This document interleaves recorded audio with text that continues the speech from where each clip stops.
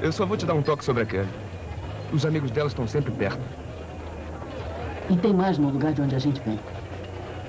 Olha, eu entendo o que estão tentando fazer.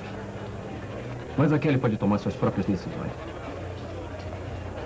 Jake, eu acabei de decidir. Se você vai sair com as colegiais agora, eu vou sair com os colegiais também. Começando por este aqui. Você é uma gracinha. Steve Sanders, Oi, Sandy. De onde é que vocês são? Beverly Hills.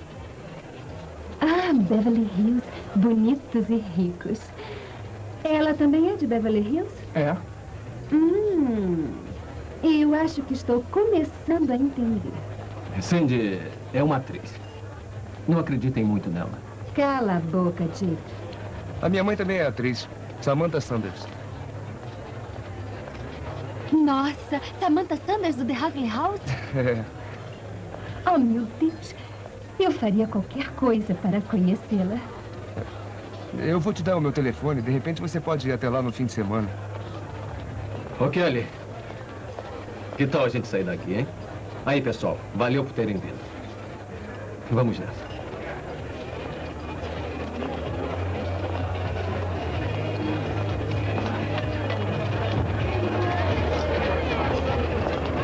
Jake, olha, me desculpe, eu não sabia que isso tudo ia acontecer, tá legal?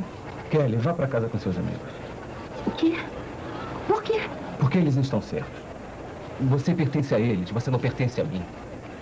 E eu não quero complicar a sua vida. Mas, mas é aquilo que você falou sobre não esconder seus sentimentos de mim.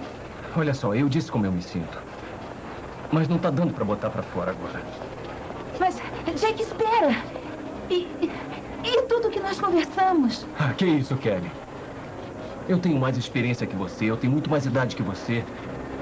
Eu, eu tenho problemas que você nem consegue imaginar. Seus amigos têm razão, Kelly. Talvez não.